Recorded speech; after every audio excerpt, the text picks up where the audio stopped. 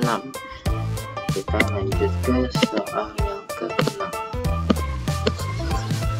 nah di soal 6 ini perusahaan dagang Orlando Bloom menjual alat-alat tulis yang didirikan oleh Bapak Kikugawa beberapa tahun yang lalu. Berikut ini daftar saldo rekening perusahaan pada 31 Desember 2017. Jadi di sini ada daftar neraca saldo yang dimiliki oleh Orlando Bloom per 31 Desember 2017. Jadi ini neraca saldonya ya.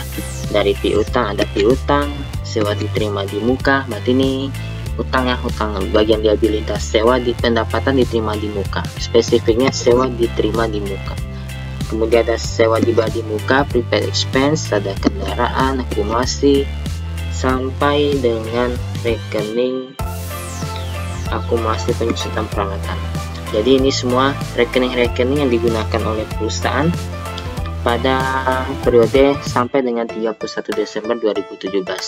Cuma di neraca saldo ini, di informasi soal ini, neraca saldonya itu tidak berurutan. Harusnya kan dari kas dulu, piutang baru ke eh, aset tetap berwujudnya, liabilitas dan juga bagian ekuitas serta pendapatan dan bebannya. Cuma di sini tidak berurut.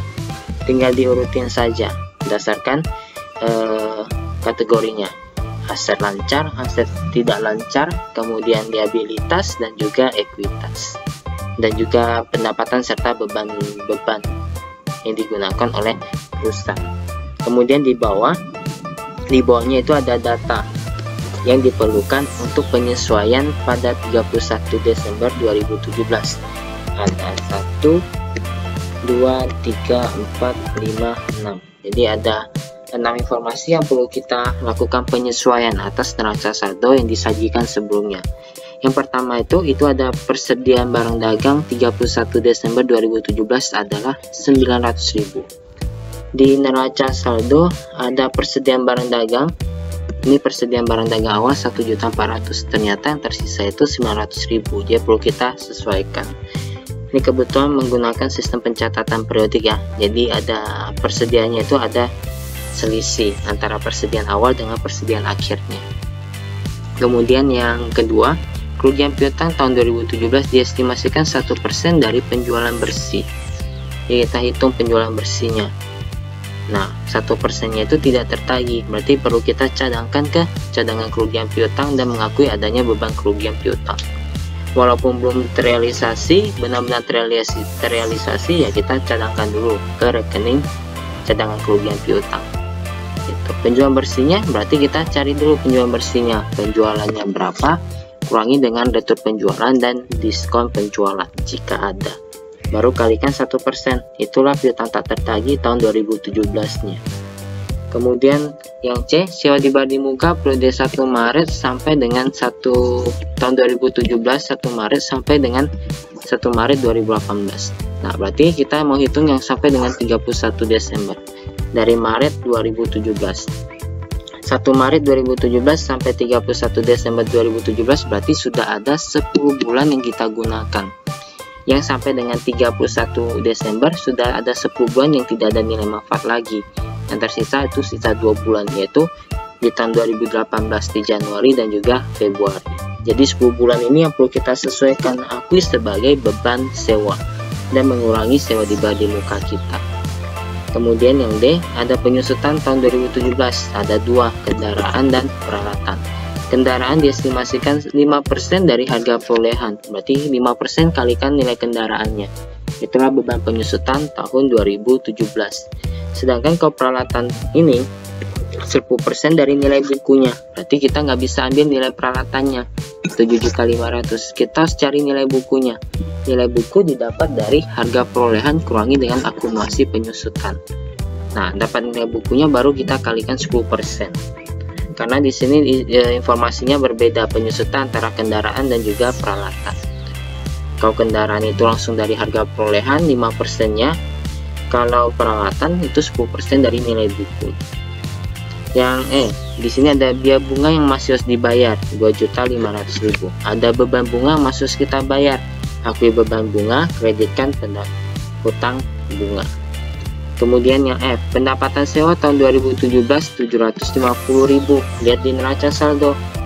Ada pendapatan sewa diterima di muka ini nah 750 sudah menjadi hak kita. Ya kita kurangi hutang kita. Hutang berkurang pendapatan bertambah. Karena sudah kita selesaikan. Gitu. nah ini eh, gambaran singkat terkait dengan proses penyesuaiannya. Yang diminta di soal 6 ini yang pertama diminta untuk buat ajunan penyesuaiannya. Yang kedua siapkan neraca lajurnya berarti kita perlu bikin neraca lajurnya dan yang ketiga susun laporan keuangannya ada tiga yaitu laporan laba rugi ada perubahan modal dan juga ada laporan posisi keuangan. Ini tiga satu dua dan tiga. Tiga laporan yang perlu kita buat. Kemudian yang ketiga udah lanjut keempat. Nah keempat diminta untuk membuat membuat ajunan penutupannya. Ya berarti di sini tidak diminta untuk buat neraca saldonya tidak diminta posting dan juga tidak diminta neraca saldo setelah penutupannya cukup kita kerjakan 4 poin ini. Ya. Kita mulai dari yang pertama dulu. Buatlah ajunan penyesuaiannya. Ini. 1 2 3 4 5 6 sudah saya jelaskan tadi ya. Kita langsung lanjut saja ke kunci jawabannya. Nah ini ajunan penyesuaian ajunan penyesuaian tunggu bentar sambil oke ini ajunan penyesuaian yang tebal oke oke. Nah, mulai yang pertama, persediaan barang dagang per 31 Desember 2017 900.000. Persediaan yang tercatat di neraca saldo itu 1.400.000. Itu saldo awalnya. Ternyata sisa akhir persediaan akhir di 31 Desember itu 900.000. Berarti bukan 1.400.000 lagi yang kita catat. Kita catat 900.000.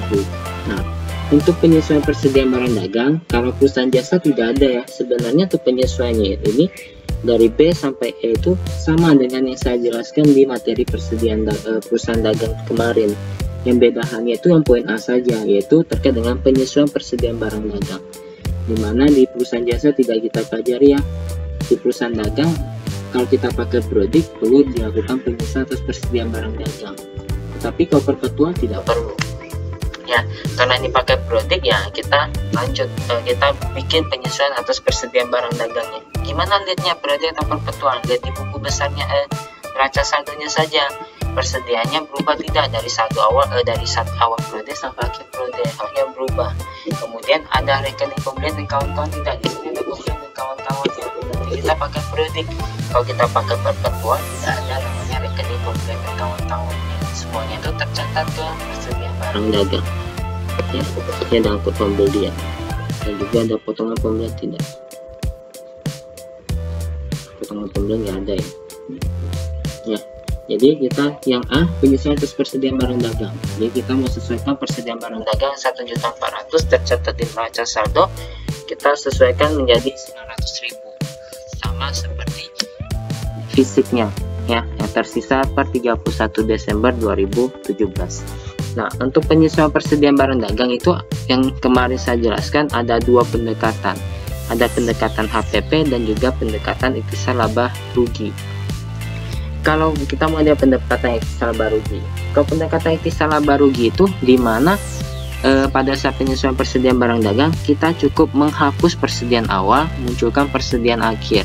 Dan juga semuanya itu penyesuaian ini kita tampung ke rekening ikhtisar laba rugi ya itu. Kalau uh, ikhtisar pendekatan ikhtisar laba rugi dan rekening pembelian dan kawan-kawannya itu tidak kita tutup sampai pada saat proses penyesuaian. Akan kita tutup pada saat proses penutupan nanti. Jadi nanti di laporan keuangan di laporan laba rugi kita perlu menghitung yang namanya HPP harga pokok penjualan. Itu kalau pendekatan ikhtisar laba rugi.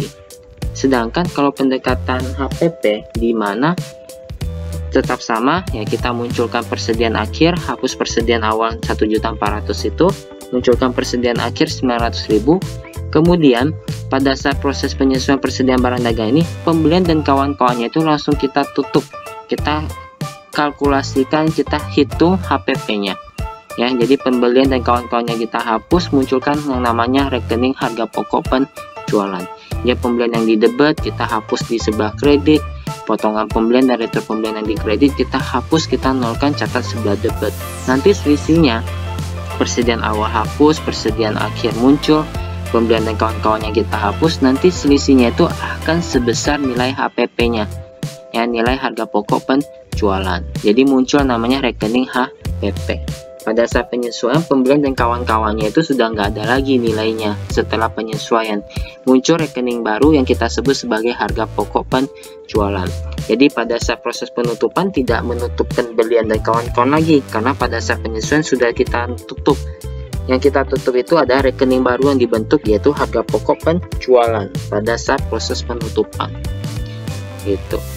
Kemudian untuk perhitungan laba ruginya HPP-nya itu tidak perlu kita rincikan lagi karena pada saat penyesuaian sudah kita ketemu HPP-nya. Jadi nggak perlu hitung-hitungan lagi HPP di laporan laba rugi.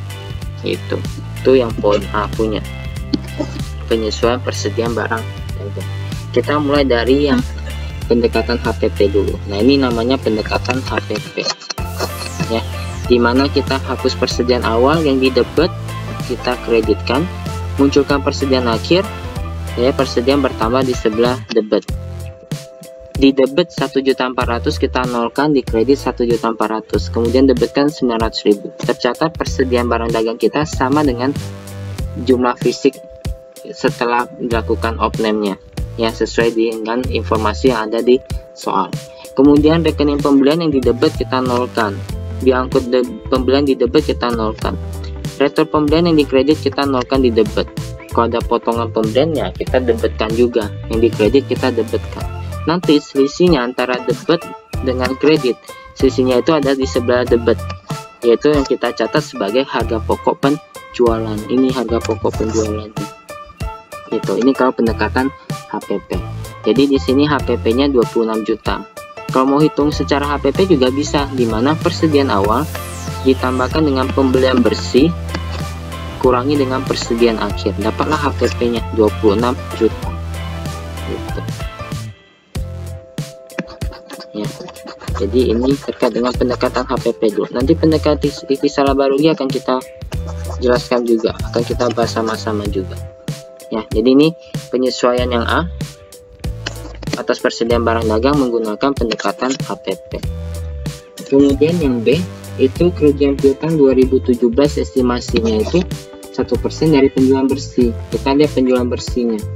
Penjualan bersih berarti penjualan 40 juta kurangi dengan retur dan juga potongan penjualan. Ada retur penjualan di sini 500.000 40 juta kurang 500.000 bisa 39 juta 500.000 di soal tidak ada potongan penjualan ya jadi tidak perlu kita kurangi tidak kita kurangi nah 39 juta 500 ribu penjualan bersihnya kalikan satu persen. Itulah kerugian piutang tahun 2017 nah, nih 40 kurang 500 ribu kalikan satu persen. Dapat 355 ribu. Akui adanya beban kerugian piutang. Karena belum terrealisasi ini namanya penyisihan yang pencadangkan ya. Jadi walaupun belum terrealisasi tetap akui sebagai beban kerugian piutang dan ditampung ke cadangan kerugian piutang di mana CKP atau cadangan kerugian piutang ini bersifat mengurangi nilai dari piutang nanti. Ya dapatlah nama piutang bersih ya tinggal dikalikan tadi oke lanjut yang C. Yang C itu sewa dibayar di muka. Untuk periode 1 Maret 2017 sampai 1 Maret 2018 nah kita buat penyesuaian kan 31 Desember 2017 tinggal kita hitung yang sudah jatuh tempo yang sudah tidak punya manfaat berapa tapi sebagai beban. Yaitu beban sewa. Ini sewa dibayar di buka 2 juta 400 nah, untuk bulan Maret tahun 2017 sampai Maret 2000 eh, 1 Maret 2018 berarti di sini sampai dengan 31 Desember 2017 laporan yang kita susun itu sudah nilai manfaatnya sudah habis itu berapa bulan? Yaitu dari Maret April Mei Juni Juli Agustus September Oktober November Desember. Ada 10 bulan sudah jatuh tempo. Dari 12 bulan tadi kan dapat berapa tinggal dikalikan? 2 juta 400 ribu kalikan 10 per 12 dapat 2 juta akui adanya beban sewa sewa di badi muka kita berkurang di sebelah kredit. Gitu.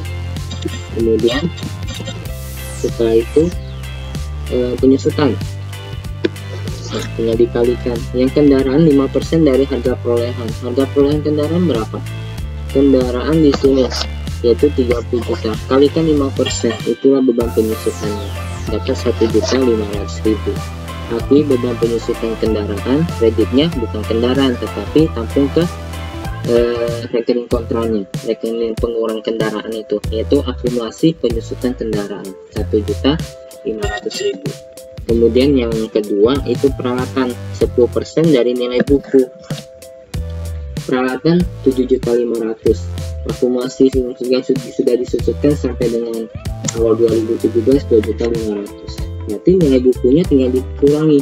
7.500 kurangi dengan 2.500 dapat 5 juta kalikan persentasenya 10% yaitu 500 ribu. Akui beban penyusutan eh, peralatan kreditnya akumulasi penyusutan peralatan nilainya 500 ribu kemudian biaya bunga yang masih harus dibayar 2.500 yang kita catat beban bunga pada utang bunga 2.500 ribu. Yang eh pendapatan sewa tahun 2017 250 nah, di neraca saldo kan ada pendapatan sewa diterima di muka ini. 1.250 ternyata 750 ribunya itu sudah menjadi hak kita sudah bisa kita akui sebagai pendapatan sewa. Ya kita kurangi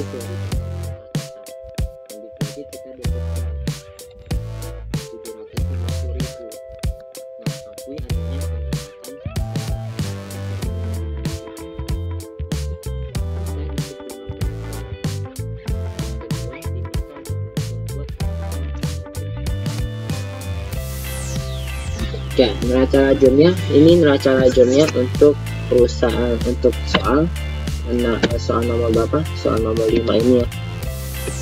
Eh sorry soal nomor 6 ini. Jadi ya neraca lajur ada 5 kolom. Neraca saldo penyesuaian. Neraca saldo disesuaikan laba rugi dan kolom neraca. Kita mulai dari kolom neraca saldo. Sebenarnya nggak perlu saya jelaskan lagi ya karena sudah kita bahas di chapter 5 kemarin kan? Jadi sebenarnya nggak perlu saya bahas lagi. Nah Kom neraca saldo kita tinggal pindah kita tinggal pindahkan data-data yang ada di soal nomor 5 kan neraca saldonya sudah ada tinggal kita pindahkan saja ke neraca lajur. Ya di soal tidak berurut rekening-rekeningnya ya kita urutkan di neraca lajur ini. Mulai dari aset sampai dengan beban. Ya di sini total debit dan total kreditnya seimbang 91 juta. Setelah itu lanjut ke jurnal uh, kolom penyesuaian Nah, kolom penyesuaian berarti penyesuaian yang sudah kita buat tadi, yang ini penyesuaian sudah buat, kita pindahkan ke rekening, pindahkan ke kolom penyesuaian. Kita mulai lagi dari yang pertama. Yang pertama kan penyesuaian persediaan barang dagang, di mana persediaan awalnya itu 1.400 kita hilangkan, catat di kredit, munculkan persediaan akhir. Persediaan barang dagang 31 Desember 900.000 kemudian pembelian dan kawan-kawannya kita hapus yang di debit di sini kita kreditkan diangkut di debit kreditkan. Retur pembelian di kredit kita debitkan kita monolkan semuanya. Kemudian nanti ada selisih. Kemudian ada selisihnya di sebelah debit yang di mana kita mengakuinya 26 juta ini sebagai HPP muncul rekening baru HPP kita taruh di bawah 26 juta ya untuk jurnal penyesuaian persediaan barang dagang sudah lanjut ke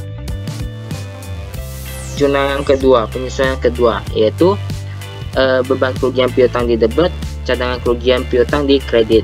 Beban kerugian piutang tidak ada kita munculkan rekening baru di bawahnya 395 kemudian kreditnya cadangan kerugian piutang yang 300.000 tambahkan 395 kemudian ada beban sewa pada sewa di bar di muka Nah, di sini eh, sewa di muka yang 2.400, 2 jutanya sudah lewat jatuh tempo ya. Kita kurangi di sebelah kredit, catat ke rekening beban sewa. tidak ada beban sewa di atas kita munculkan di bawahnya di sebelah debit kemudian sama halnya juga penyusutan kendaraan dan peralatan di debit masing-masing 1.500 dan 500.000 kreditkan akumulasi penyusutan peralatan 500.000 dan akumulasi penyusutan kendaraan 1.500.000 Kemudian zona berikutnya beban bunga hutang bunga. Di sini beban bunga muncul rekening baru karena di atas tidak ada hutang bunga kita munculkan di bawahnya. Hutang bunga. Kemudian jurnal terakhir terkait dengan pendapatan sewa. Nah, sewa di di muka yang 1.250.000, 750.000 sudah jadi hak kita. Kita debetkan, kreditkan pendapatan sewa. Total debit dan total kredit seimbang 35.545.000. Setelah selesai kolom penyesuaian, kita lanjut ke kolom neraca saldo disesuaikan. Tinggal dikalkulasi, ditambah, dikurangi dengan masing-masing rekening sesuai dengan kondisi yang ada. Nah, kas tidak berubah ya, sama surat berharga tidak berubah, piutang usaha, piutang dagang tidak berubah, cadangan kerugian piutang 300 tambah 395 menjadi 695. Persediaan barang dagang yang 1.400 kita nolkan munculkan persediaan akhir 900.000 di debit. Ya, setelah jadi di neraca saldo jadi di neraca saldo setelah penyesuaian persediaan barang dagang di debit 900.000 Sewa dibandingkan 2.400 kita kreditkan 2 juta karena sudah tidak punya nilai manfaat lagi tersisa 400.000 di debit. Nah 400.000 ini adalah beban sewa, sewa untuk bulan tahun berikutnya yaitu di tahun 2018 di bulan Januari dan bulan Februari. Kemudian kendaraan tidak ada perubahan. Akumulasi penyusutan kendaraan yang mengalami perubahan.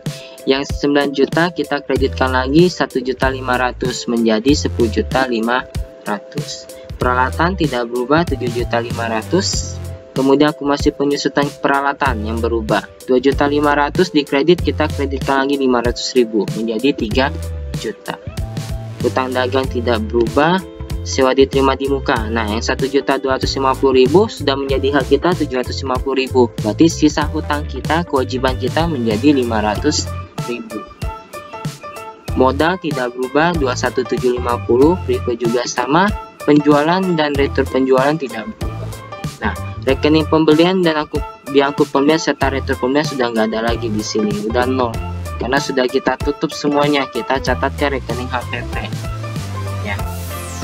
Setelah itu, gaji karyawan tidak ada perubahan, beban iklan dan administrasi kantor tidak ada perubahan. Di bawahnya muncul rekening-rekening baru di mana ada HPP 26 juta, beban kerugian piutang, beban sewa, beban penyusutan, beban bunga, serta hutang bunga dan juga pendapatan sewa. Total debit dan total kredit seimbang 94 juta 895 ribu. Nah, setelah itu uh, neraca saldo disesuaikan selesai kolom neraca saldo disesuai, disesuaikan selesai kita lanjut ke kolom laba rugi ya kolom neraca nah kolom laba rugi yang kita isi yang kita masukin hanya berkaitan dengan laporan laba rugi yaitu hanya berkaitan dengan rekening nominal yaitu pendapatan eh, penjualan pendapatan dan juga beban usaha ya tinggal kita pindahkan total debit dan total kredit di sini ada apa aja? Ada penjualan dan itu penjualan. Pembelian sudah nggak ada nilai lagi, nggak perlu kita masukin, nggak ada nilai. Kemudian ada beban gaji, beban iklan, beban administrasi kantor, HPP. Nah, HPP ini masuk ke kolom laba rugi ya, karena ini masuk ke perhitungan laba rugi bersih. Kemudian ada kerugian piutang, beban sewa, beban penyusutan, dan juga beban bunga. Ngutang bunga tidak masuk ya, karena ini bukan bagian dari laporan laba rugi. Dia ada di laporan neraca. Kita masuk ke kolom neraca. Dan juga terakhir ada pendapatan sewa. Total debit dan total kredit dijumlahkan. Kalau total debit dan total kredit itu seimbang, berarti nggak ada rugi, nggak ada untung, pakpok namanya tetapi nanti kita jumlahkan total debitnya berapa, total kreditnya berapa. Apabila total kredit lebih besar dari total debit, berarti penjualannya dan pendapatan lebih besar dari biaya, berarti ada laba. Itu. Ya. Sebaliknya, kalau total debitnya itu lebih besar dari total kreditnya, berarti bebannya lebih besar dari pendapatan dan juga penjualannya. Berarti ada kerugian. Nanti selisihnya akan diisi selisihnya itu akan kita isi ke kolom debit atau kredit di nilai terkecil yang lebih kecil agar apa agar kolom debit dan kolom kreditnya itu seimbang ya kurang lebih seperti itu Nah, di sini total debitnya itu 36745, total kreditnya itu 40750. Nah, berarti di sini total kreditnya lebih besar dari total debitnya. Penjualan dan pendapatan sewanya itu lebih besar dari total beban yang dikeluarkan, serta HPP-nya. Berarti di sini ada namanya laba bersih. Bisa mengalami untung mendapatkan laba bersih senilai selisihnya yaitu 4.500.000. Nah, selisihnya itu dimasukin ke kolom yang lebih kecil yaitu kolom debit di sini. Agar apa? Agar kolom debit dan kolom kreditnya itu seimbang. Gitu. Ya. Jadi kalau kreditnya lebih besar dari debitnya berarti ada laba di mana selisihnya itu ditaruh di kolom debit agar debit kreditnya seimbang. Sebaliknya apabila debitnya lebih besar dari kreditnya berarti rugi di mana nilai kreditnya lebih kecil ya kita selisihnya itu ruginya kita masukin ke kolom kredit. Agar kolom debit dan kreditnya seimbang gitu. Berkaitan dengan kolom laba rugi.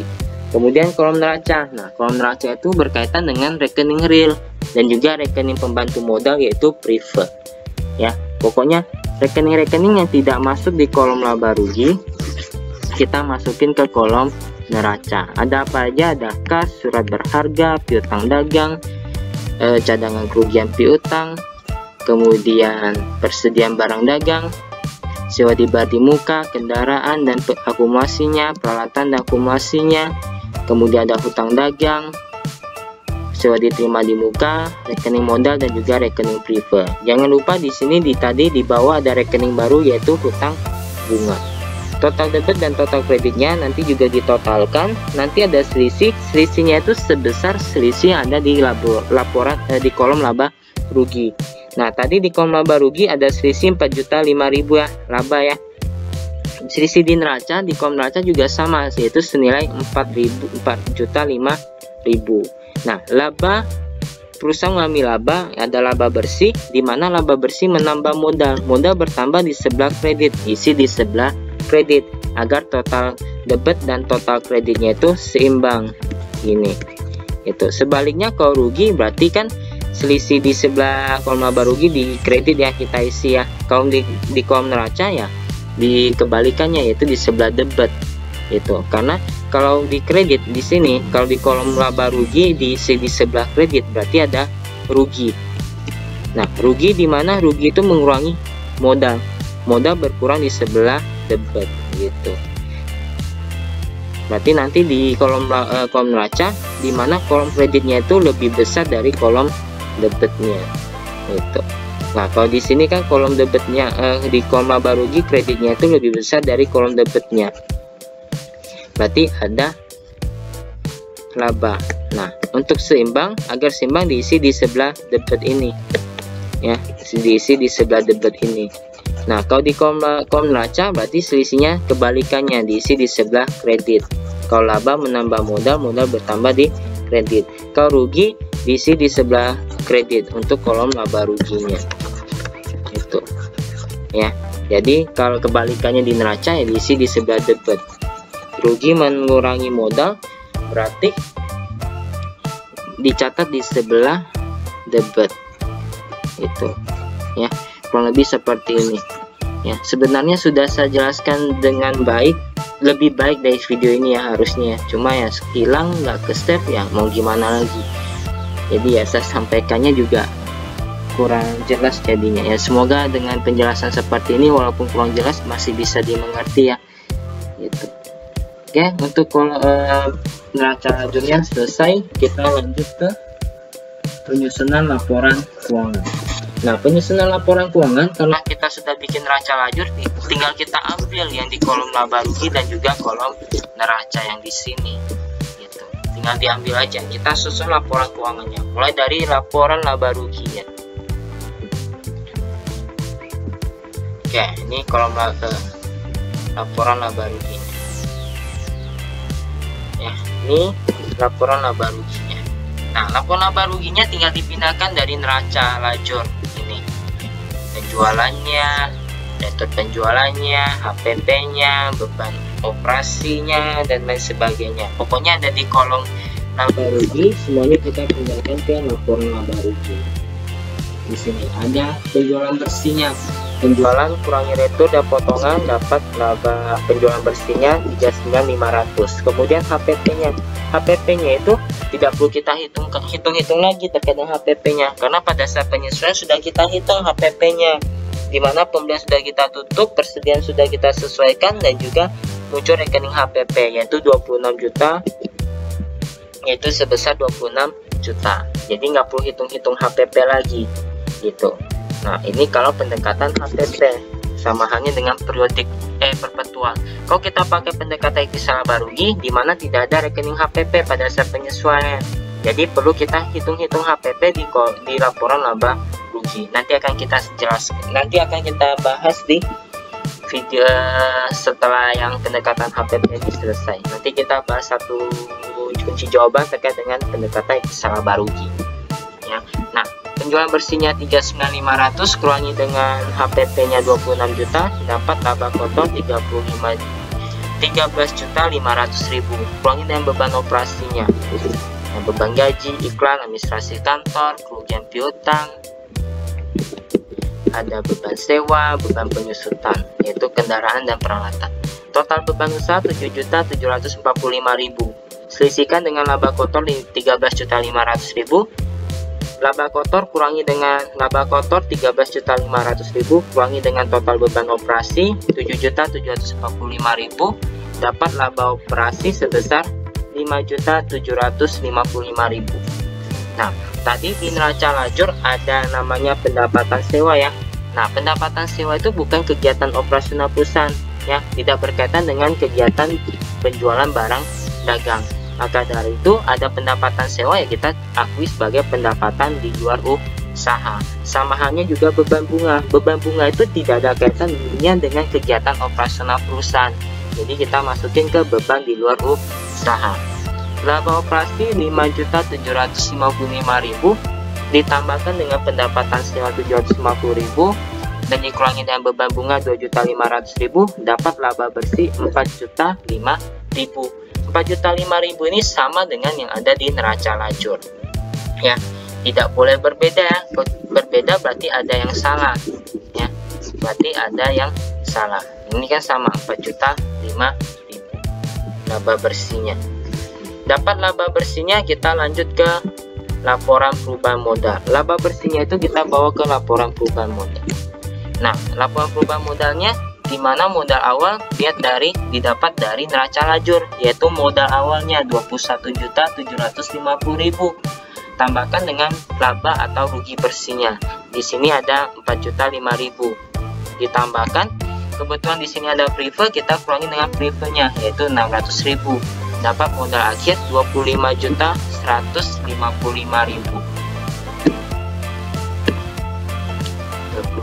juta 155 Nah, setelah itu kita lanjut ke neraca atau laporan posisi keuangan. Modal akhirnya ini kita pindahkan ke bagian modal di neraca. Ya. Kita lanjut ke neraca. Nah, neraca juga sama, kita ambil dari neraca lajur yang di kolom neraca ini.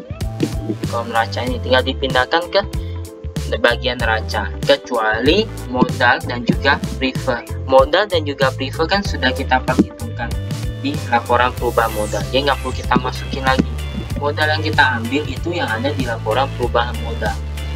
Ya jadi modal yang di neraca lajur dan prefer tidak perlu kita masukin di kolom neraca di kolom neraca modal kita ambil itu dari laporan perubahan modal.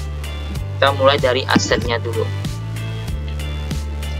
ya aset di sini ada aset lancar ada kas 125 1.250.000 ada surat berharga 5 juta piutang dagang 12 juta 500 cadangan kerugian piutang 695.000 dapat piutang bersih 11 juta 805 ribu. Ini semuanya diambil dari laporan dari kertas kerja ya dari neraca lajur ya. Kemudian persediaan barang dagang bukan 1.400.000 lagi tetapi 900.000 COD di muka bukan 2.400.000 lagi tetapi sisa 400.000 total aset lancar 19.355.000 tambahkan kemudian ada aset tetap berwujudnya yaitu ada kendaraan 3 juta 30 juta kurangi akumulasi penyusutannya 10 juta 500 dapat nilai buku 19 juta 500 ribu kemudian ada peralatan 7 juta 500 ribu akumulasi penyusutan peralatan 3 juta. Dapat nilai buku 4 juta 500 total aset tetap berwujud 24 juta. Ditambahkan dengan total aset lancar tadi 19 juta 355 ribu. Dapat total aset 43 juta 355 ribu. Lanjut ke ekuitas dan liabilitas dan ekuitasnya. Nah liabilitasnya ada cuma ada tiga ada utang dagang 15 juta 200 ribu. Sel diterima di muka 1 juta 250 ribu menjadi sisa 500 ribu. Kemudian ada hutang bunga. Ini tanggungan baru muncul ya. Di setelah penyesuaian yaitu 2 juta 500 ribu. Total liabilitas 18 juta 200 ribu. Ditambahkan dengan modal. Modal bukan 21 juta ya tetapi 25 juta yang diambil dari laporan perubahan modal 25 juta 155 ribu. Liabilitas 18 juta 200, 200 ribu tambahkan modal. Modal akhir 25 juta 155 ribu dapat total liabilitas dan ekuitasnya itu 43 juta 355 ribu. Bisa. Selesai untuk laporan keuangannya. Jadi laporan laba rugi diambil dari neraca lajur karena sudah ada neraca lajur yang kita bikin neracanya juga sama. Sama halnya juga laporan perubahan modal. Ya terkait dengan privat dan modal awalnya. Laba bersihnya itu yang di sini diambil dari laporan laba rugi. Dapat modal akhir pindahkan ke neraca bagian modal yaitu modal akhirnya. Selesai untuk laporan keuangan. Setelah laporan keuangan selesai, kita lanjut ke jurnal penutupannya. Jadi proses penutupannya. Nah, proses penutupan tadi di neraca lajur tercatat modalnya itu 21.750.000 ya. Nah, harusnya itu kan bukan 21 juta, melainkan yang benar itu adalah 25 juta. Yaitu 25 juta ini. Nah, bagaimana? 25 juta ini harus muncul di pembukuan kita harusnya. Nah bagaimana kita mencatat yang 21 juta menjadi 25 juta terkait dengan modal ya modal pemilik yaitu dari 21 juta menjadi 25 juta? Dibutuhkanlah namanya proses penutupan. ya Nah, modal akhir 21 juta menjadi 25 juta sumbernya dari mana? Dari laba bersih dan juga prive. Laba bersih itu didapat dari pendapatan dan juga beban-beban. Sumbernya dari sini.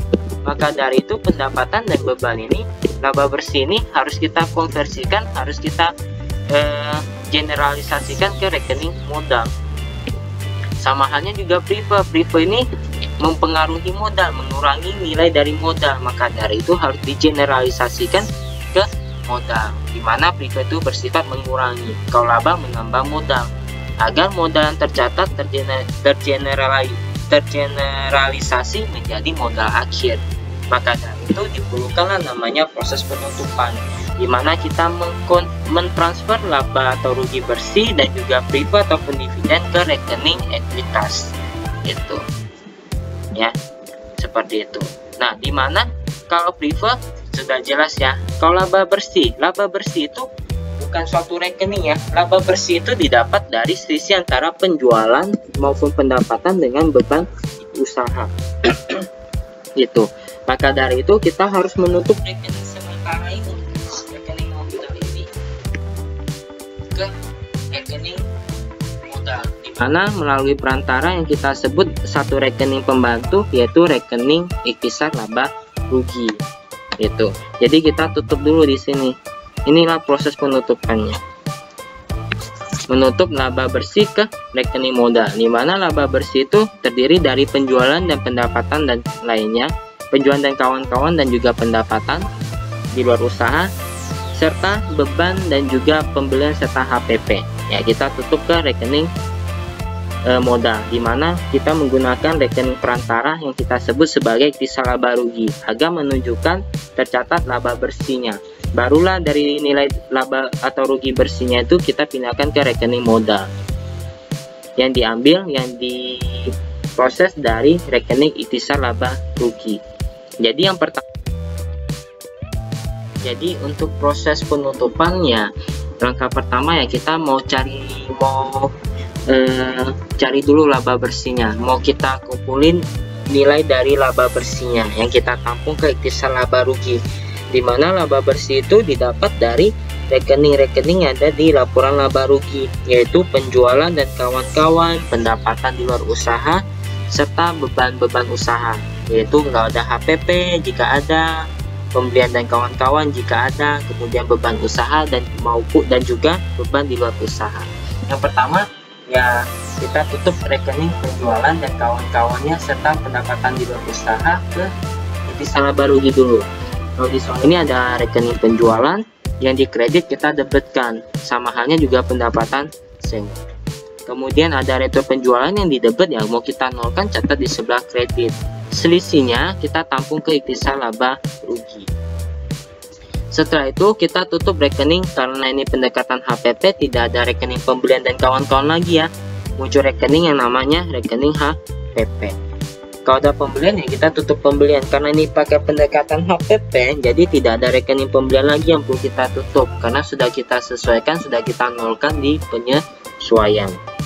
Jadi di sini kita tutup apa aja yaitu rekening-rekening biaya ataupun beba atau beban yang ada di rekening di laporan laba rugi. Yaitu ada HPP yang didebet kita nolkan. Sama halnya juga beban lain-lainnya. Ada beban gaji iklan sampai beban penyusutan. Dan juga beban di luar usaha ada beban bunga. Semuanya yang didebet kita catat ke sebelah kredit.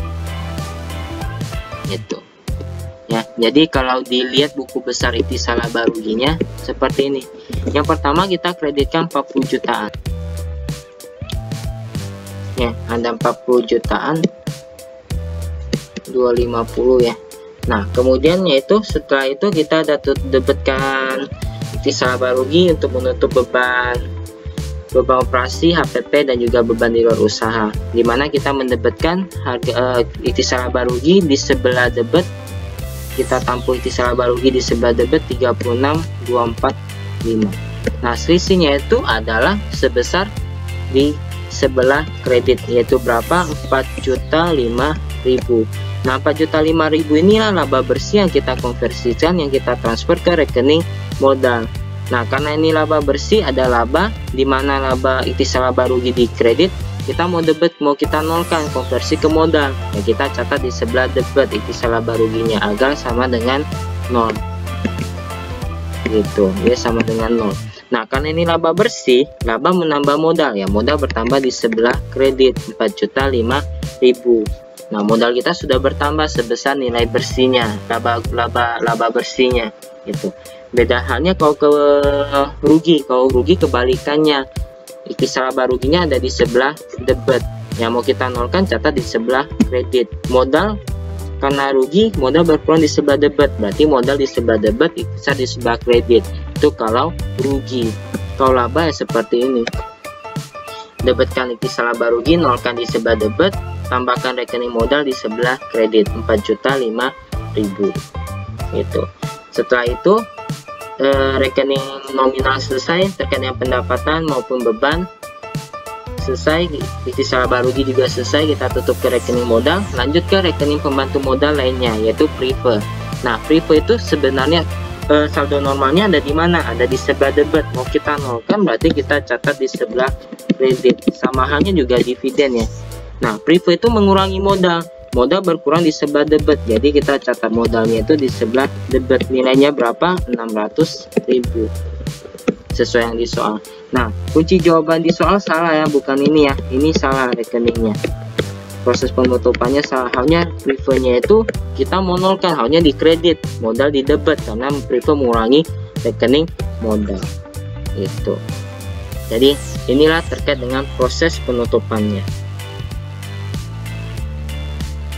jadi ini terkait dengan proses penutupannya kita tutup pendapatan, penjualan dan kawan-kawan dan pendapatan di luar usaha ke rekening laba rugi, tutup beban kalau ada pembelian, pembelian dan kawan-kawan, kemudian kalau ada rekening HPP, HPP juga ke ikhtisar laba rugi. Nanti ikhtisar laba ruginya menunjukkan laba atau rugi bersih, tutup ke rekening modal. Kalau untung berarti modalnya di kredit, kalau laba di, berarti modalnya di kredit, kalau rugi berarti modalnya di sebelah debit. Ya, ikhtisar laba ruginya mengikuti saldo akhirnya. Kalau laba berarti ikhtisar laba ruginya ada di kredit, mau kita nolkan catat di sebelah debit. Kalau rugi berarti saldo ikhtisar laba rugi ada di sebelah debit, mau kita nolkan ya catat di sebelah kredit. Tandingannya yang modal gitu setelah kita tutup laba rugi bersih ke kita transfer laba rugi bersih ke rekening modal kita tutup rekening pembantu modal lainnya yaitu privat ataupun dividen privat ataupun dividen yang ada di debit saldo normal di debit mau kita nolkan ya. Kita catat di sebelah kredit debitnya. Karena privat atau dividen mengurangi modal ya modal dicatat di sebelah debit ini. Nah ini yang kunci jawaban salah ya. Jangan diikuti ya. Kita pakai yang ini. Selesai untuk proses penutupannya. Nah terkait dengan proses penutupan untuk urut-urutannya atau langkah-langkahnya sebenarnya itu tidak ada ketentuan khusus ya tutup penjualan dan kawan-kawan dan pendapatan di luar usaha titik salah rugi baru tutup beban, beban pembelian dan kawan-kawan dan juga HPP jika ada PT Salaba rugi. Nah, boleh nggak penutup penjualannya saya catat saya tutup pada saat menutup beban karena dia posisinya di sebelah debit. Biar seragam saya tutup pada saat menutup rekening beban juga. Dia tidak di penjualan. Boleh-boleh saja. Nah, terus boleh nggak pendapatan eh terkait dengan pembelian? Kan dari tur pembelian yang dikredit. Mau kita nolkan berarti dicatat di sebelah debit. Saya catat di sebelah pada saat menutup rekening penjualan. Itu boleh atau tidak? Ya boleh-boleh saja kalian mau seperti apa proses penutupannya langkah-langkah penutupannya itu bebas yang penting dalam proses penutupan rekening-rekening nominal yang ada di laporan laba rugi itu harus dinolkan dan ditampung ke rugi bagaimanapun caranya prosesnya terserah kalian. Yang penting semua rekening nominal yang ada di laporan laba rugi itu sama dengan nol.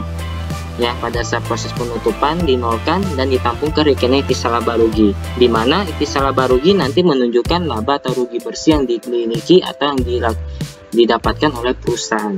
Jadi mau bagaimana urut-urutannya prosesnya langkahnya bebas. Yang penting rekening nominal yang ada di laporan laba rugi itu semuanya itu sama dengan nol setelah proses penutupan. Dan ditutup ditampung ke rekening ikhtisar laba rugi di mana rekening ikhtisar laba ruginya itu menunjukkan nilai laba atau rugi bersih yang akan ditransferkan ke rekening modal. Gitu. Nah jadi setelah proses penutupan ini jadi modal kita bukan 21 juta lagi melainkan 21 juta ditambahkan dengan laba atau rugi bersih berarti rekening modalnya seperti ini ya kalau secara buku besar rekening modalnya berarti di sini ada 21 jutaan ditambahkan dengan laba bersih di mana kita kreditkan modal ada prefer kita kurangi di modal didebitkan modal dapat modal akhirnya 25 jutaan. Nah 25 jutaan ini sama dengan yang ada di laporan neraca ya yaitu 25 juta 155 ribu. Sama halnya juga yang ada di laporan perubahan modal jadi modalnya akhir ini yang 25 juta menjadi modal awal di tahun berikutnya di tahun 2018 gitu jadi tidak ada rekening pendapatan dan beban lagi.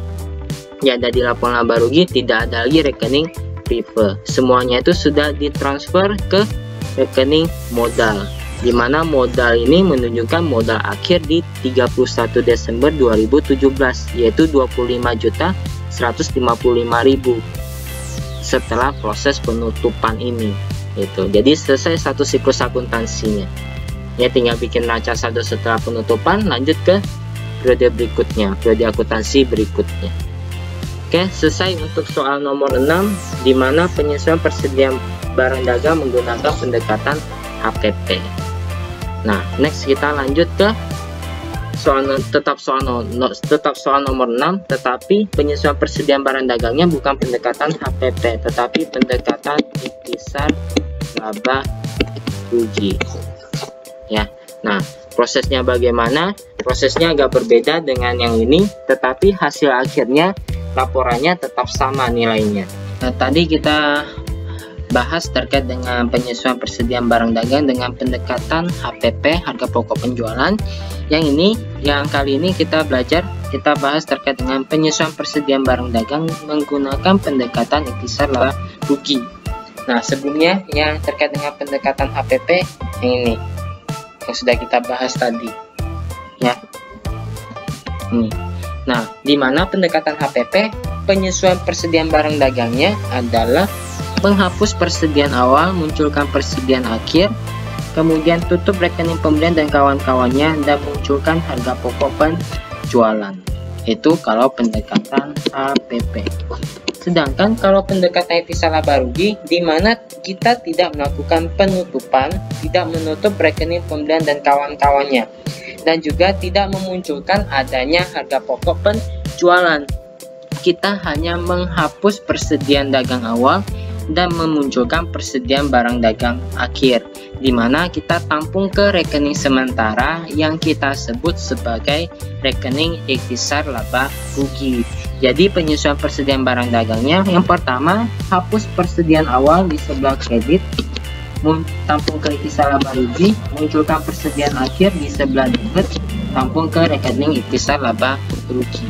Jadi di ikhtisar laba rugi pada saat penyesuaian rekeningnya itu sudah terbentuk di mana yang di debitnya itu terkait dengan penutupan atas persediaan awal penghapusan nilai persediaan awal dan di kreditnya 900 itu untuk memunculkan persediaan barang dagang akhirnya. Gitu. Bedanya hanya di situ saja terkait dengan penyesuaian yang lain itu sama baik pendekatan APP maupun itisal laba rugi karena yang membedakannya itu hanya terkait dengan penyesuaian persediaan barang dagangannya saja antara pendekatan HPP dengan pendekatan ikhtisar laba rugi. Jadi ini adalah jurnal terkait dengan penyesuaian persediaan barang dagang menggunakan pendekatan ikhtisar laba rugi di mana tidak kita tutup rekening pembelian dan kawan-kawannya dan juga tidak kita munculkan rekening HPP-nya. Beda hanya kalau pendekatan HPP. Selain menutup rekening eh, persediaan awal dan persediaan akhir, kita juga menutup rekening pembelian dan kawan-kawannya serta memunculkan rekening harga pokok penjualan. Itu ya. Yang tadi, yang ini ikhtisar laba rugi. Kita tampung ke rekening ikhtisar laba rugi. Kemudian yang penyesuaian yang kedua sama ya, ada kerugian piutang ditaksir 1% dari penjualan bersih. Debitnya beban kerugian piutang, kreditnya cadangan kerugian piutang. Nilainya 39.500 kalikan 1%. 39.500 itu dapat dari penjualan 40 juta kurangi dengan retur penjualan yaitu 500.000 kemudian ada beban sewa yang sudah lewat jatuh tempo yaitu selama 10, 10 bulan terhitung dari Maret sampai Desember 2017 ada 10 bulan dari satu tahun kita kalikan total eh, sewa di mukanya jadi yang sudah tidak memiliki nilai manfaat lagi 10 bulannya adalah 2 juta. Dapatkan beban sewa, kreditkan sewa juga di muka. Kemudian berikutnya beban penyusutan. Nah, beban penyusutan itu ada dua, kendaraan dan peralatan. Kendaraan itu 5% dari harga perolehannya. 30 juta kali 5%, sedangkan peralatan itu 10% dari nilai bukunya. Nah, ini bukan harga perolehannya. Berarti kita mau menghitung kembali nilai bukunya. Di mana nilai buku itu didapat dari harga perolehan 7.500.000 kurangi dengan akumulasi penyusutannya yaitu 2.500 dapat 5 juta baru kalikan 10% dapat 500.000 debetkan untuk kendaraan berarti beban penyusutan kendaraan kreditnya akumulasi penyusutan kendaraan 1.500.000 kemudian untuk peralatannya berarti debetkan beban penyusutan peralatan kreditkan akumulasi penyusutan peralatan senilai 500.000 yang ketiga, yang berikutnya, ada beban bunga yang masih harus dibayar. Akui beban bunga, kreditnya karena belum dibayarkan tampung ke hutang bunga. Ini jurnal-jurnal penyesuaiannya sama ya dengan pendekatan HPP yang tadi kita bahas ya. Kemudian sewa diterima di muka yang 1.250.000, 750 sudah menjadi hak kita. Sudah boleh kita hapus sebagai pendapatan sewa. Jadi untuk pendapatan sewa kurangi sewa diterima di muka. Pindahkan ke rekening uh, pindahkan ke neraca lajur nah ini neraca lajurnya ya Jadi neraca lajurnya ini sama. Neraca saldonya tinggal dimasukin yang di soal diurutkan dari aset, liabilitas, ekuitas, penjualan sampai dengan beban. Ya.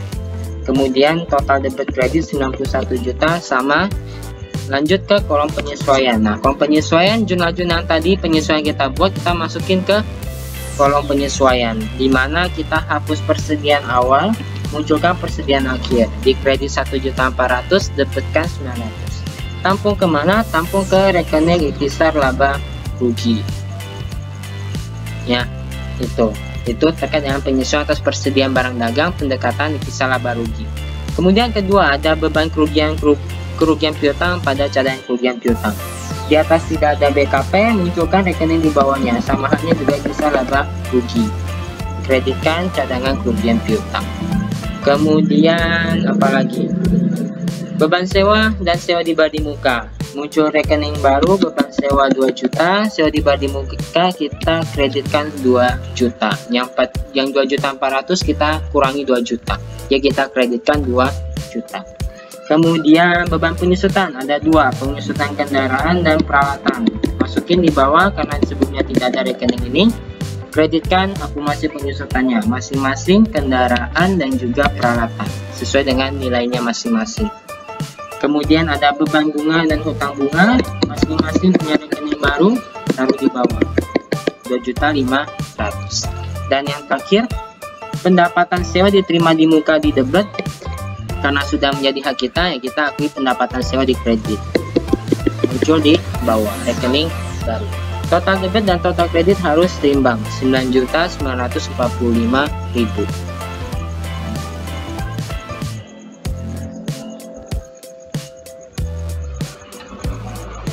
Setelah penyesuaian lanjut ke kolom berikutnya kolom neraca saldo disesuaikan. Nah, tinggal dikalkulasi, tinggal disesuaikan dengan eh, rekening-rekening uh, yang disesuaikan ya. Kalau rekening uh, tidak disesuaikan ya nilainya tetap sama dengan nilai yang tercatat di neraca saldo kecuali ada penyesuaiannya. Sambil contoh misalnya di sini ada cadangan kerugian piutang yang 300 dikredit, dikreditkan lagi 395 menjadi 695. Kemudian persediaan dagang awal 1.400 menjadi 900 ya. Kita kreditkan 1.400 debitkan 900.000 dapat persediaannya 900.000 di debit persediaan barang dagang akhir.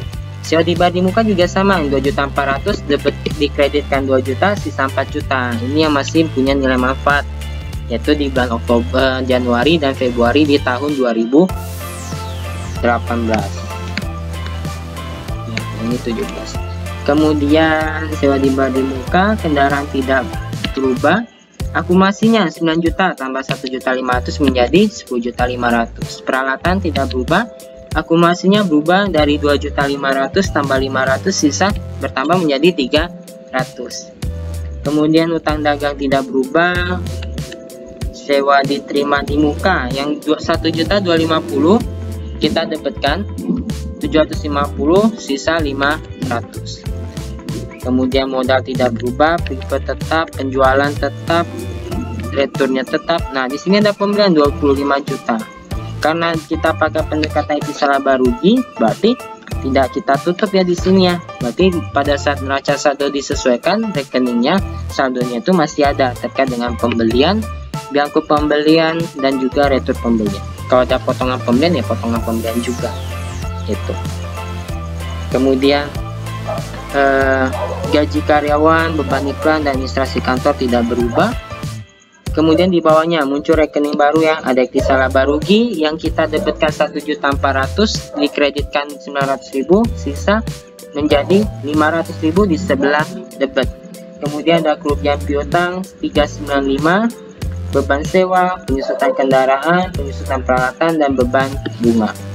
Kemudian di sini ada muncul hutang bunga 2.500 yang masih harus kita bayar dan muncul pendapatan di luar usaha yaitu pendapatan sewa yang sudah menjadi hak kita 750.000 nah total debit dan total kredit harus seimbang 95 juta 895 ribu. Tuh. nah terkait dengan rekening ikhtisar laba rugi rekening ikhtisar laba rugi itu ada rekening sementara saja ya itu bukan rekening yang dipakai selamanya atau dipakai dalam jangka waktu yang lama.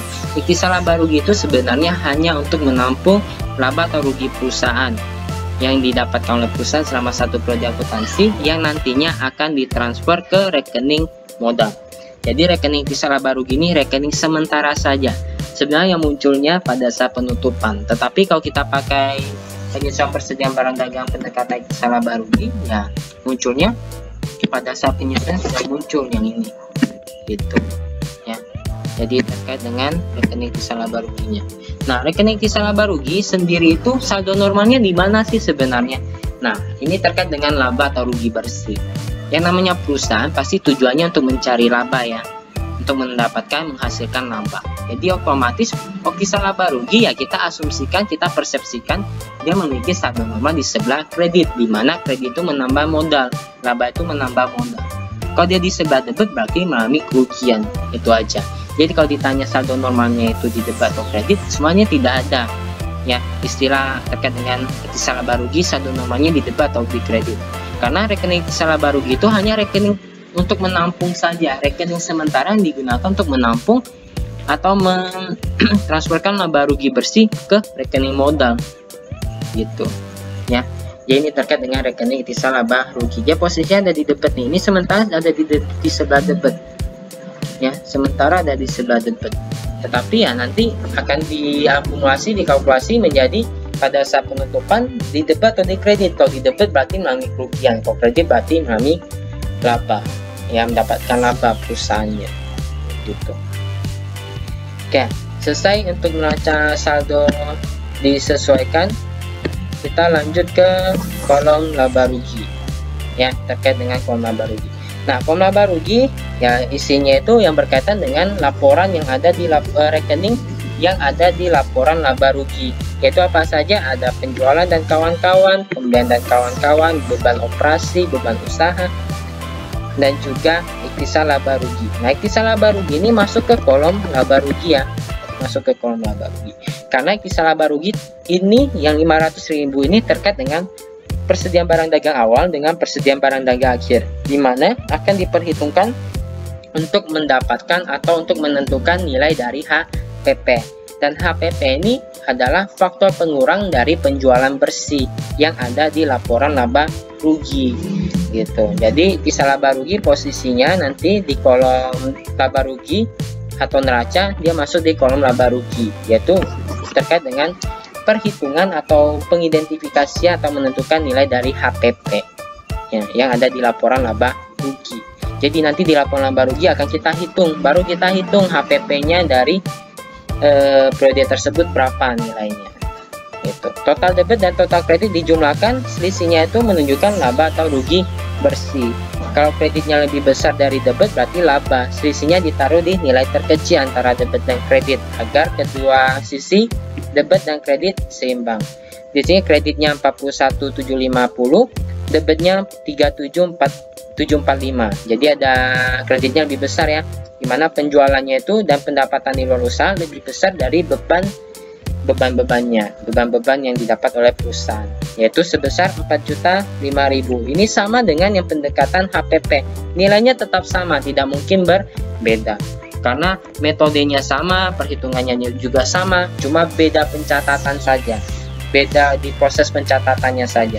Tetapi secara nilai, secara hasil tetap sama. Oke, lanjut laporan laba rugi Selesai, lanjut ke kolom neraca. Sama total debit dan kredit dijumlahkan. Nanti ada selisih.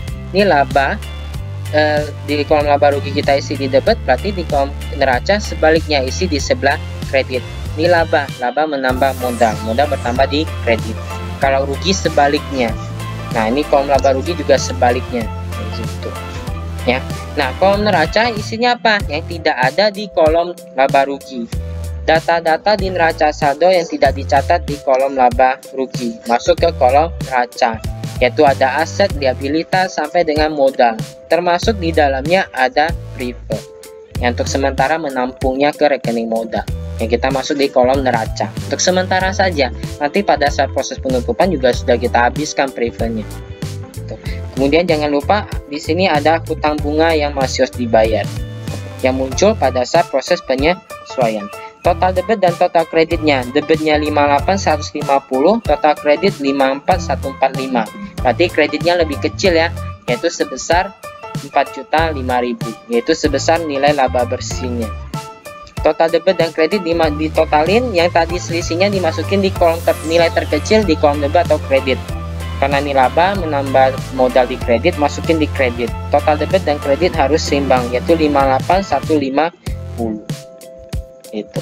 Selesai untuk neraca saldonya, eh, neraca lajurnya. Setelah diminta bikin neraca lajur, kita lanjut ke berikutnya. Yang diminta adalah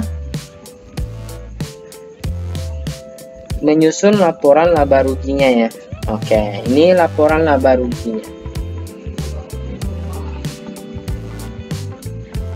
Oke, ini kolom laba ruginya. Kita mulai dari kolom lab, eh, laporan laba ruginya. Sorry, yang diminta laporan keuangannya kita mulai dari lo, laporan laba ruginya. Oke, seperti biasa yang tadi yang di pendekatan HPP ya kita masukin dulu penjualan bersihnya.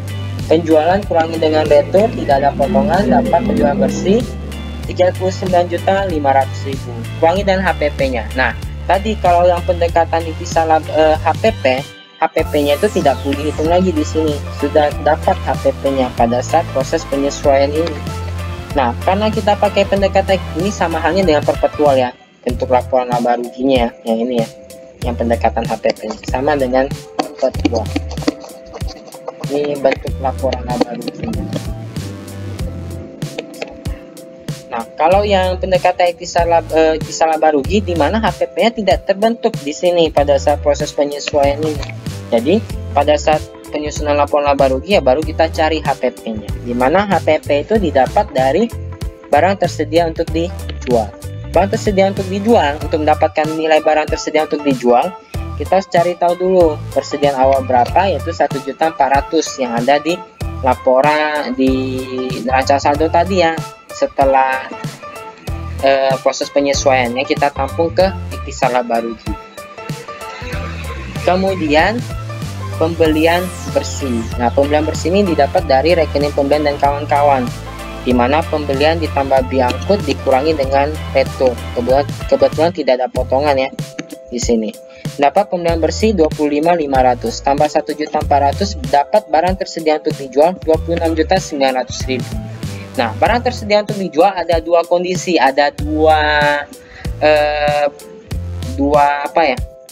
Dua alokasi pengalokasian.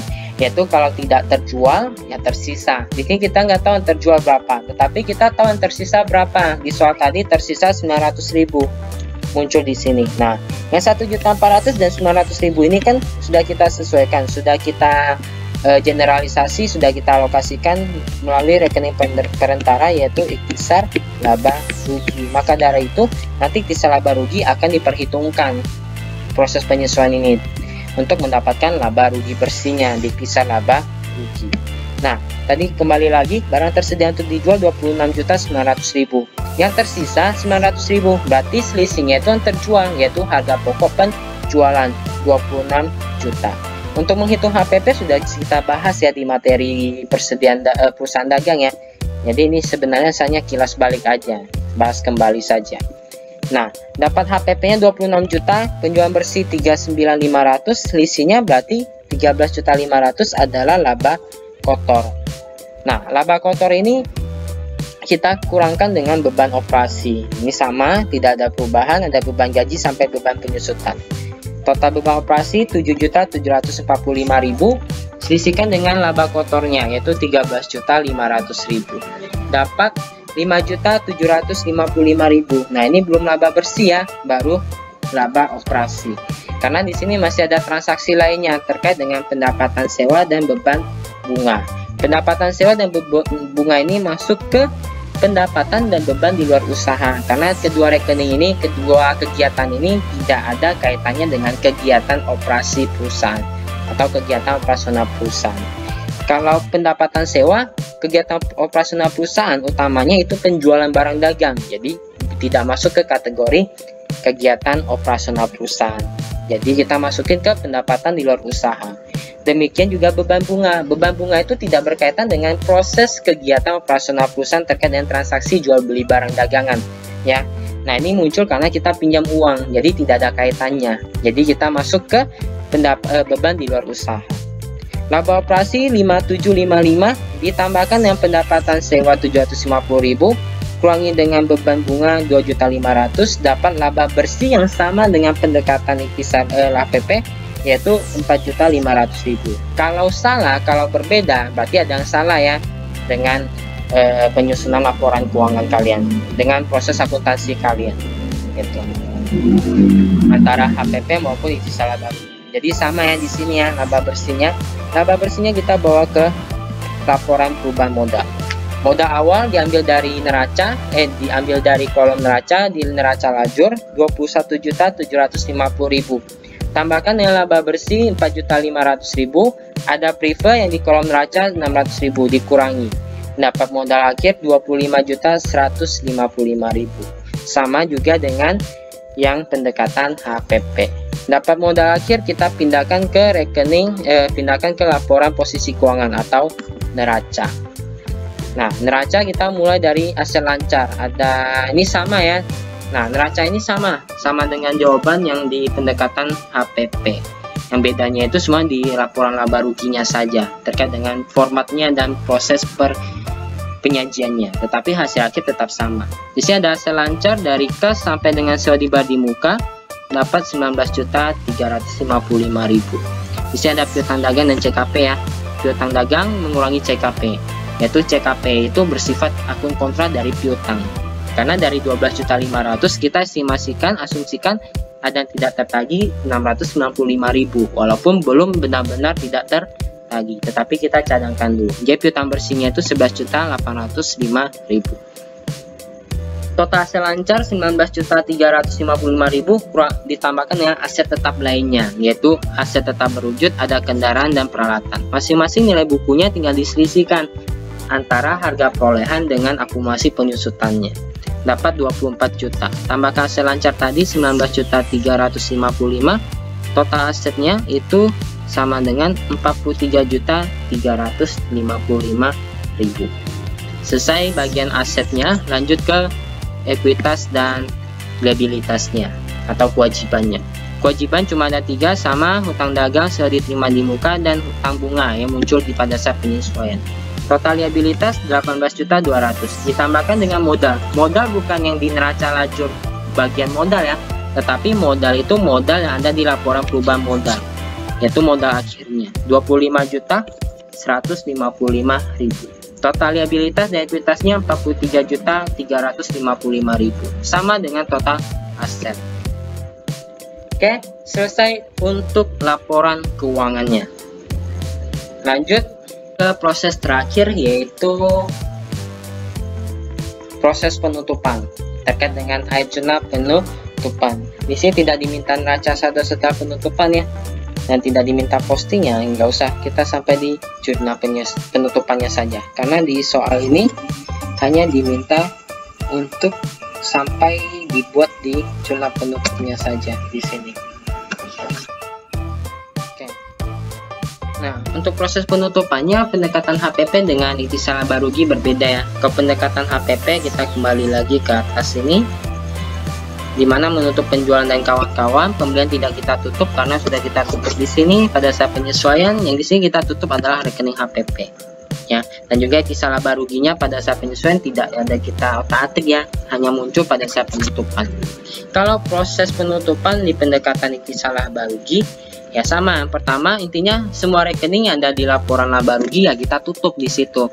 Harus kita nolkan beserta rekening pembantu modal lainnya yaitu privat ataupun dividen. Yang pertama kita tutup rekening penjualannya dulu dan juga pendapatan di luar usaha. Penjualan ada 40 juta yang dikredit kita debitkan, kemudian ada kawan-kawannya. Kebetulan di sini cuma ada satu retur penjualan. Retur penjualan yang ada di debit nggak kita nolkan, catat di kredit.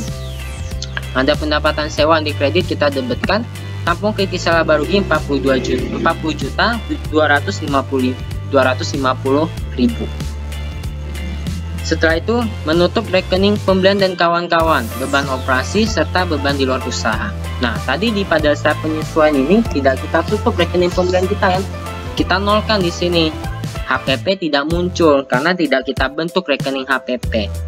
Ya, jadi kalau pendekatan HPP kita tutup beban, beban operasi dan beban di luar usaha serta HPP. Kalau di sini yang pendekatan pendekatan salah barugi kita menutup beban operasi, beban di luar usaha dan juga pembelian dan kawan-kawannya. HPP tidak muncul, jadi tidak perlu kita otak-atik. Hanya muncul secara perhitungan saja di sini ya HPP-nya. Tetapi secara rekening kan tidak muncul HPP-nya, secara pencatatan akuntansinya gitu. Ya kita tutup rekening pembelian dan kawan-kawan yang di debit pembelian dan biangkut masing-masing kita nolkan di sebelah kredit. Kemudian dan kawan-kawannya pembelian ada retur dan potongan ya yang di kredit kita debetkan. Kebetulan di sini cuma ada retur pembelian. Kemudian beban uh, beban operasi debit kita yang di debit kita kreditkan dan juga beban di luar usaha yaitu beban bunga. Yang di debit kita kreditkan agar nol tampung ke ikhtisar laba rugi 35745. Setelah itu ikhtisar laba rugi jangan lupa pada saat penyesuaian sudah kita tampung terkait dengan untuk perhitungan HPP di mana kita membutuhkan persediaan awal dan persediaan akhir. Nah, kita udah kita masukin di pada saat penyesuaian ini. Jangan lupa diperhitungkan ya. Karena secara pembukuan secara buku besar rekening ikhtisar laba rugi sudah ada isi pada saat penyesuaian yaitu sebesar 500.000 di sebelah debit nilai bersih. Kemudian pada saat menutup penjualan dan kawan-kawan kita kreditkan 40 juta 250.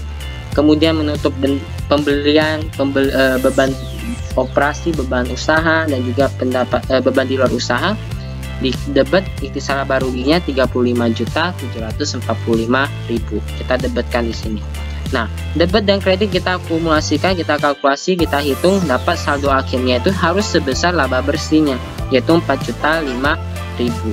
Nah, kalau penyesuaian kita tidak perhitungkan, maka selisih antara ikhtisar laba rugi dengan ikhtisar laba rugi terkait dengan menutup penjualan dan kawan-kawan serta beban-beban itu tidak akan sama dengan e, nilai dari laba rugi bersih karena laba rugi bersih terkait dengan HPP di mana kita ada memperhitungkan persediaan awal dan persediaan akhir. Nah, maka dari itu ditampunglah kisah laba rugi persediaan awal dan persediaan akhirnya untuk menggeneralisasi antara persediaan awal, persediaan akhir dan pembelian dan kawan-kawannya untuk mendapatkan HPP di situ. Ya, karena di sini pada saat penyesuaian, pada saat penutupan di atas sebelumnya itu tidak ada rekening HPP yang terbentuk. Maka dari itu untuk mengeneralisasikan nilai dari HPP itu dikalkulasilah pada saat penutupan ikhtisar laba rugi. Jadi yang penutupan persediaan awal, kemudian munculkan persediaan akhir, menutup penjualan dan kawan-kawan, menutup pembelian dan kawan-kawan serta pendap, e, beban dan juga beban operasi dan juga beban di luar usaha. Dapatlah laba bersihnya, nilai dari laba bersihnya yaitu di sebelah kredit 4.005.000 terkait dengan ikhtisar rekening ikhtisar laba rugi. Ya, seperti itu ya kurang lebih ya. Kalau tidak dimengerti boleh kita diskusikan lagi di grup WA karena takutnya kalian agak bingung sebenarnya kalau sesuai dengan nalar logika berpikir itu bisa kita ikutin bisa dapat kita ikutin secara baik. Tetapi kalau nalar kalian logika kalian tidak bisa mengikutinya otomatis hal ini akan membingungkan bagi kalian.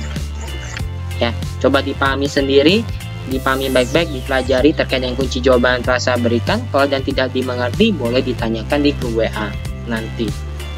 Tuh nah dapat laba rugi bersihnya berapa? Kisah laba rugi di kredit 4.5000 kita transfer ke rekening modal. Jadi yang di kredit kita debitkan kisah laba ruginya.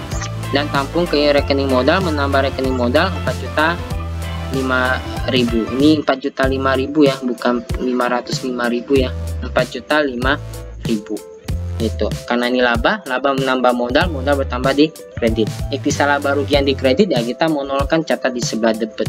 Gitu. setelah itu masih ada rekening pembantu modal lainnya yaitu di soal ada prefer. Nah prefer yang di kredit yang di debit kita menolkan catat di sebelah kredit. Mengurangi modal kan? Langsung tampung ke modal mengurangi modal modal berkurang di sebelah dekat berarti debitnya modal kreditnya prefer sebesar 600.000 kunci jawabannya ini salah ya jangan diikutin ya ini jawaban yang benar gitu. oke selesai untuk soal yang keenam soal nomor 6 baik pendekatan baik terkait eh, ter, khususnya terkait dengan penyesuaian persediaan barang dagang baik menggunakan pendekatan intisal laba rugi ataupun HPP. Jadi berbeda ya secara proses akuntansinya, secara pencatatannya. Tetapi secara hasilnya, secara nilai akhirnya tetap sama, tidak mungkin berbeda. Nah, untuk soal 6 sudah selesai. Jadi pembahasan latihan soal, soal latihan sudah selesai juga ya. Tinggal lanjut ke latihan soal. Jadi nanti di pertemuan berikutnya ada latihan soal yang akan saya berikan, kalian coba kerjakan. Gitu. Nah, untuk dengan terkait dengan akuntansi untuk persediaan dagang terkait dengan materi-materinya ataupun pembahasan soal yang masih tidak dimengerti, masih dibingungkan, kalian coba pahami dulu, coba dipelajari dulu baik-baik dari kunci jawaban, dari materi, dari handout ataupun dari video yang saya sampaikan. Ya, kalian coba pahami, kalian coba pelajari. Apabila ada yang tidak dimengerti, masih dibingung, masih membingungkan, masih sulit untuk dipahami, boleh kita diskusikan di grup WA nanti sama-sama ya. Jadi untuk materi akuntansi untuk persediaan dagang, eh, akuntansi untuk perusahaan dagang baik materi maupun penyampaian soal latihan sudah selesai ya. Kita lanjut ke pertemuan berikutnya, nanti akan ada latihan soal yang saya berikan. Oke, sampai jumpa semuanya.